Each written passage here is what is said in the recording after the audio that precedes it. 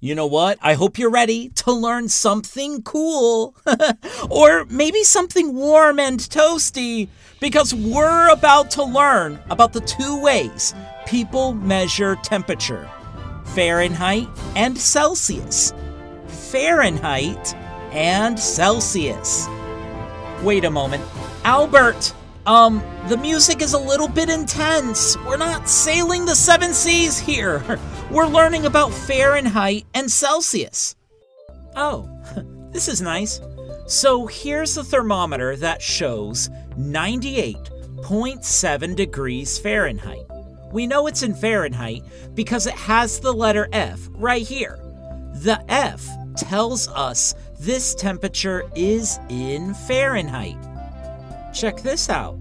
This thermometer shows 36.6 degrees Celsius. We know it's in Celsius because it has the letter C right here. The C tells us this temperature is in Celsius. And some thermometers show us both. Here's a thermometer that shows us the temperature in Celsius on this side here, and Fahrenheit on the other side. It has both. You can see the C for Celsius and the F for Fahrenheit.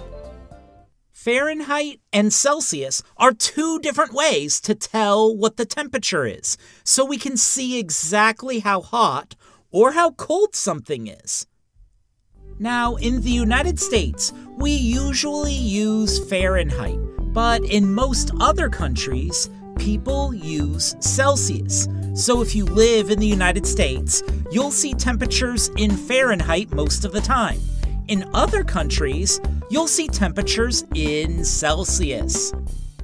Oh wow, a little frog. This is random, but it's perfect. Okay, little frog and kids, we're going to look at some different temperature situations and see what the temperature is in Fahrenheit and Celsius.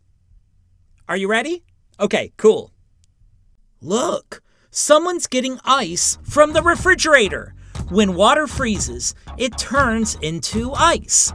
The freezing point, the temperature when water freezes, is 32 degrees Fahrenheit. 32 degrees Fahrenheit. Notice the F for Fahrenheit right here. But in Celsius, water freezes at 0 degrees.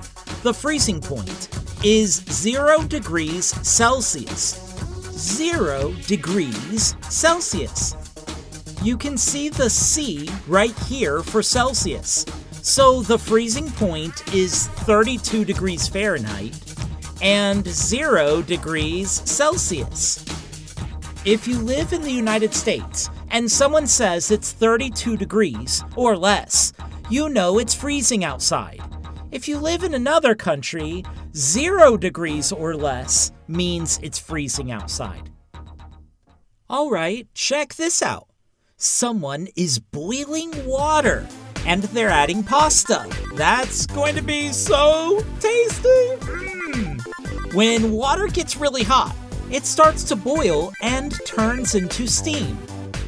The boiling point, the temperature when water boils, is 212 degrees Fahrenheit. 212 degrees Fahrenheit. Wow, that's a lot. But in Celsius, water boils at 100 degrees. The boiling point is 100 degrees Celsius. So the boiling point is 212 degrees Fahrenheit, which is 100 degrees Celsius.